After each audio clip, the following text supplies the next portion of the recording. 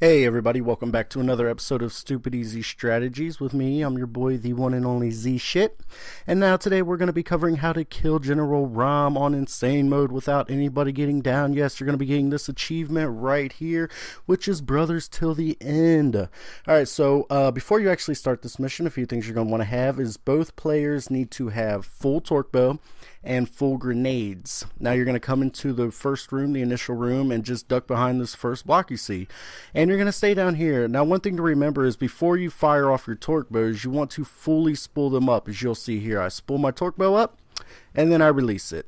so make sure you do that or Raam will take your fucking head off. Now, Raam's eventually going to work his way to you. You want to fire all 12 torque bow shots. And as Raam comes within grenade range, you just start pelting him with grenades. As you'll see in the video, we do kill him. All 12 torque bow shots and all 8 grenades. I don't even think we actually used everything. But that's the order we did it in, and we killed him really quick, really easy. And you guys can go ahead and finish up the video. As always, thank you for watching. I am the one and only Z Shit. Bye-bye. Enemy spotted!